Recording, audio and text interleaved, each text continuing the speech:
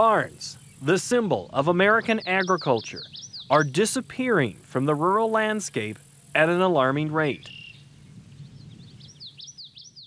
Time takes its toll, and structures that were once vitally important in daily farm operations often fall into disrepair and are either torn down or collapse.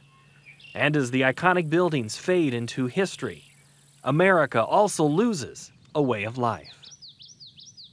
It's important to preserve the really unique and the everyday.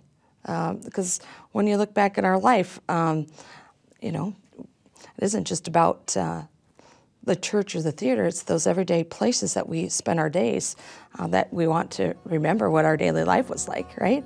And the work we did. And so one day, 50, 60 years from now, I mean, the world we see, most people are going to, it's going to be a distant memory of, and, and so we need to have some icons to kind of give us a glimpse back. 200 years ago, 90% of the population farmed. Today, it's just 2%, and the average age of those that farm keeps increasing. According to the 2012 Census of Agriculture, 57% of those who farm are 55 years or older.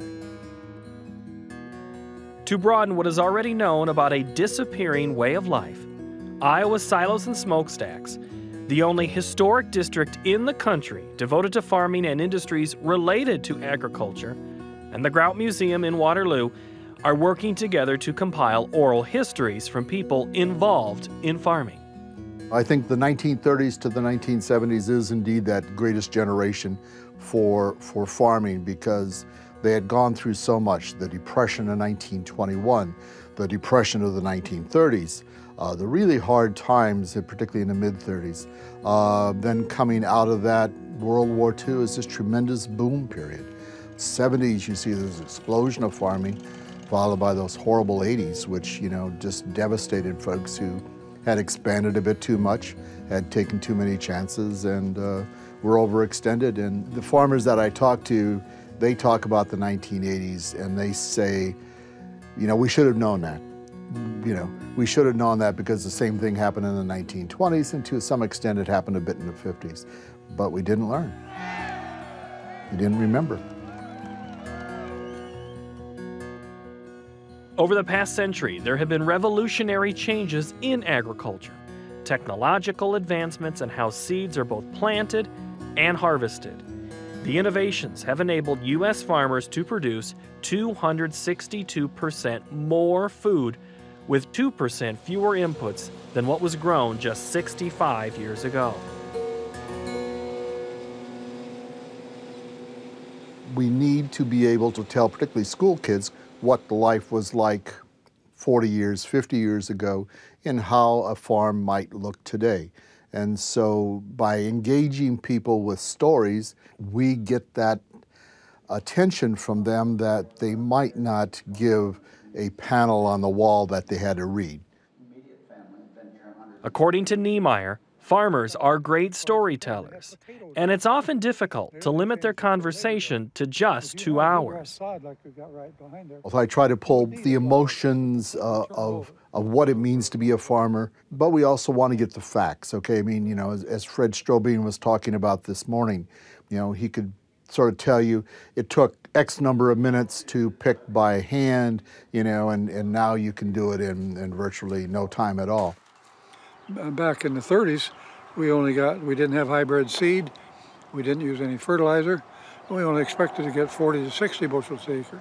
Gradually, there were a few people who would brag about 100 bushel corn, but those people that got 100 bushel corn, either they lied a lot or they had a lot of, of uh, they might have a, a, dairy herd and they might put uh, 10 tons of, of cattle manure on, on their per acre. That way they would get enough nitrogen they could. We like to ask the question, what will farming be like in 10 years? You know, 10 years ago, we would have said, what will the farming be like in 25, 30 years? Because we thought it was going to take that long to change. Now we realize that in 10 more years, farming will have changed so much. You know, and the older farmers, they have some sense of, of why things have changed, and you have some opinions of whether it's good or not. Uh, now the new combines and, and uh, you pretty much stay in the cab. And when you get, some of them even, if you get out of the cab, the, the machine will turn itself off, and, and which is a good safety factor.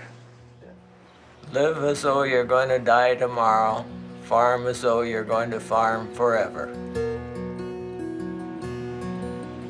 It's easy in today's world to take agriculture for granted. But from 1933 to today, the population of the world has grown from 2 billion to 7 billion.